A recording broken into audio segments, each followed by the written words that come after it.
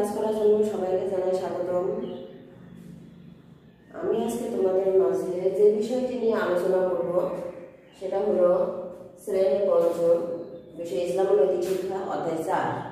অধ্যায় চারের আল কোরআন মজিদ সম্পর্কে আজকে আমি তোমাদের মাঝে আলোচনা করব। আল কোরআন মজিদ, প্রথমে আমাদের আলোচনা বিষয় কি? আল কোরআন পরিচয়। মানে কোরআন মজিদের পরিচয়। এই কোরআন মজিদের পরিচয় সম্পর্কে আগে আমাদের জানতে হবে। তো কোরআন, এই কোরআন আল কোরআন আল কোরআন হলো আল্লাহর কালাম। আল কোরআন আল্লাহর কালাম। এটা অবশ্যই তোমরা মনে রাখবা শূন্যস্থানের জন্য। আল কোরআন আল্লাহর কালাম। আল্লাহর কালাম। এই কালাম শব্দের অর্থ হচ্ছে কালাম। এই কালাম শব্দের অর্থ হচ্ছে কথা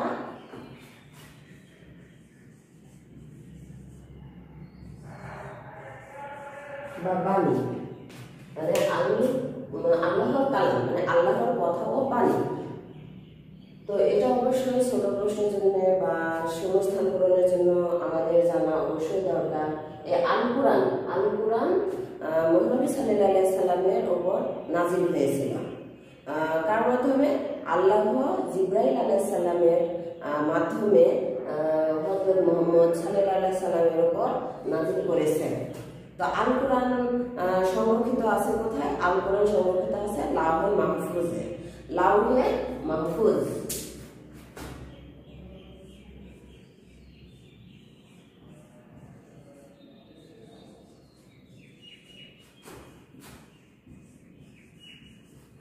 লাউহে মাহফুজ যার অর্থ সংরক্ষিত ফলক।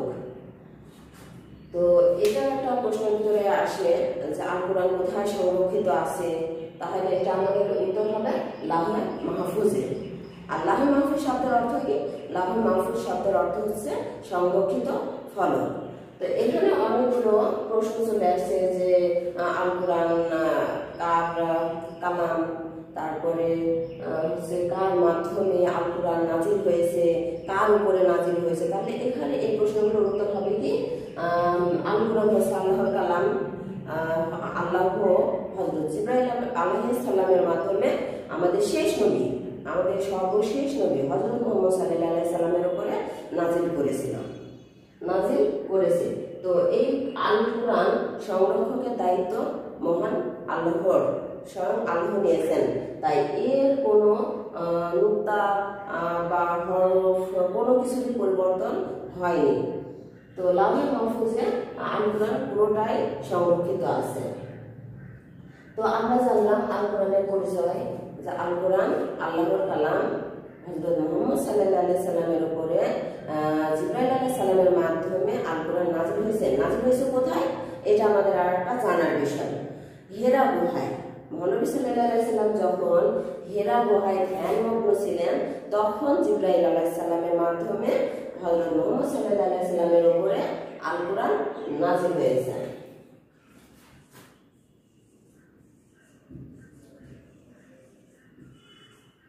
হেরা গুহা। এটা একটা প্রশ্ন আসতে পারে যে আল কোথায় নাজিল হয়েছিল মোহাম্মদ সাল্লাহ আলাইসাল্লামের উপরে? আল কোরআন নাজিল হয়েছিল হেরা গুহায়। এটা অবশ্যই তোমরা মনে রাখবা। তো আমাদের এবার জানার বিষয় হচ্ছে কোরআন মসজিদ তেলাওয়াতের উদ্দেশ্য। কোরআন মসজিদ তো আল্লাহ মহানবী সাল্লাল্লাহু সাল্লামের উপরে। তো এই কোরআন মসজিদ তেলাওয়াতের যে উদ্দেশ্য আছে, অবশ্যই সেটা আমাদের জানতে হবে। এটা প্রশ্নে চলে আসে। ছোট প্রশ্ন বান্দান তারপরে যদি বলা হয় কোরআন মসজিদের উদ্দেশ্য কয়টি, ও কি কি, তাহলে এটা বড় প্রশ্ন চলে আসতে পারে।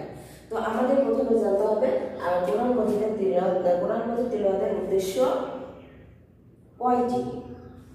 উদ্দেশ্য?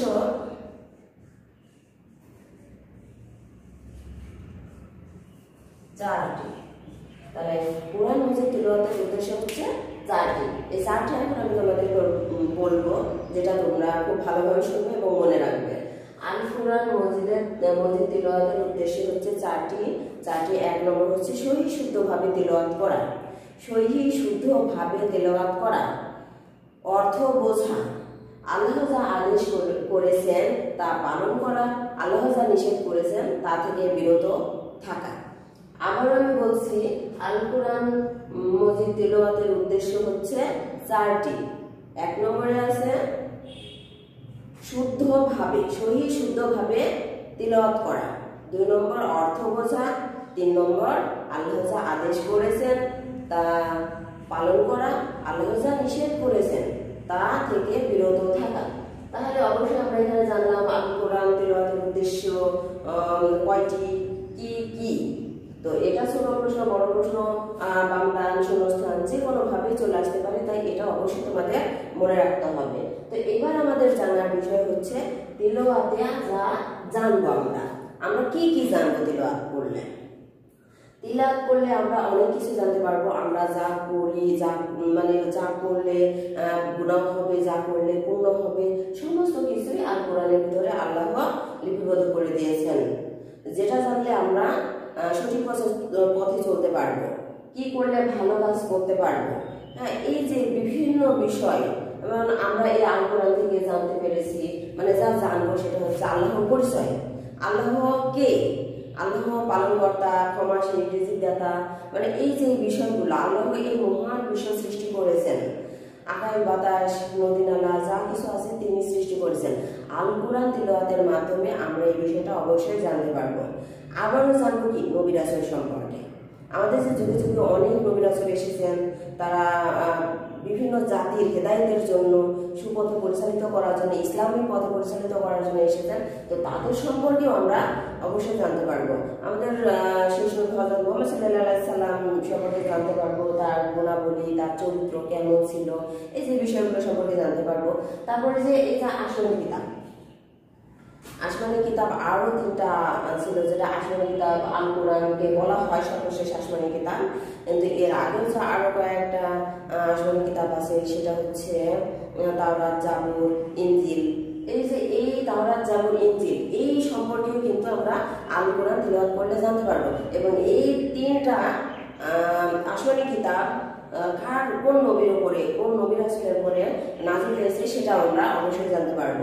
তারপরে আমরা জানব যে ফেরিস্তা সম্পর্কে ফেরিস্তারা কারা? তারা কি করে? হ্যাঁ এই যে বিভিন্ন বিষয়, তারপরে আমরা সমস্ত ভালো কাজ সম্পর্কে, তারপরে আমরা যে, যেটা করলে আল্লাহ অপছন্দ করবে যেটা করলে খুশি হবে আল্লাহ, এই যে বিভিন্ন বিষয় সম্পর্কে আমরা অবশ্যই জানব।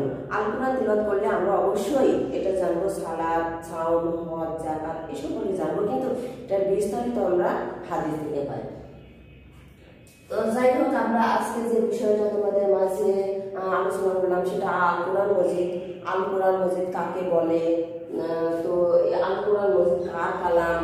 এটা কার উপরে নাজিল হয়েছে? কার মাধ্যমে নাজিল করেছে? কোথায় নাজিল হয়েছে? এই যে এই বিষয়গুলো, ছোট ছোট বিষয়গুলো আমরা অবশ্যই জানলাম। তারপরে আবার জানলাম, কোরআন মজিদ তিলওয়াতের উদ্দেশ্য। কোরআন মজিদ তিলওয়াতের উদ্দেশ্য কয়টি? বা কি কি, এই যে বিষয়গুলো, এগুলো কিন্তু ছোট প্রশ্ন বাংলান সংস্থান বড় প্রশ্ন যেভাবেই তোমরা পড়ো না কেন, সেভাবে চলে আসতে পারে। তাই আমাদের অবশ্যই জেনে রাখতে হবে। কোরআন মজিদ তিলওয়াতের উদ্দেশ্য চারটি শৈশবভাবে কোরআন মজিদ তিলওয়াত করা, অর্থ বোঝা। আল্লাহ যা আদেশ করেছেন তা পালন করা, আল্লাহ যা নিষেধ করেছেন তা থেকে বিরত থাকা। তো তিলওয়াতে যা জানব, আমরা তিলওয়াত করলে তো আমরা অনেক কিছু জানব, যা আমি তোমাদেরকে বিস্তারিত বললাম। আরও অনেক কিছু আছে। যা যখন তোমাদের পরীক্ষায় আসবে প্রশ্নটা, তখন তোমরা সেভাবে সালের বিষয় লিখবে তাহলে অবশ্যই নম্বরটা ভালো আসবে। তো আজকের মতো তোমাদের মাঝে আমি এই পর্যন্ত ক্লাস নিলাম। তো তোমরা ভালোভাবে ক্লাসটা করবে। আল্লাহ হাফিজ।